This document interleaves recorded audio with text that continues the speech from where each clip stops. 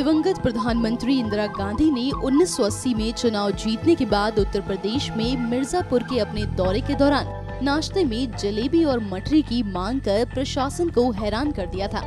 जिला न्यायाधीश प्रशांत कुमार मिश्रा, जो बाद में उत्तर प्रदेश के मुख्य सचिव भी बने। अभी अभी जारी अपनी आत्मकथा में कहते हैं कि उनके कार्यकाल के दौरान गांधी ने तीन चार बार मिर्जापुर का दौरा किया था।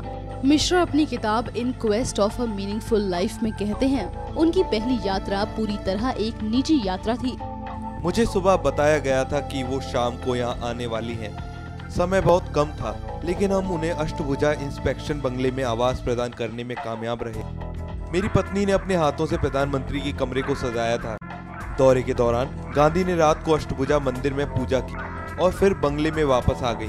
अगली सुबह उन्होंने नाश्ते के लिए जलेबी और अचार के साथ मठरी खाने की इच्छा ज़ाहिर की। किताब में आगे लिखा है।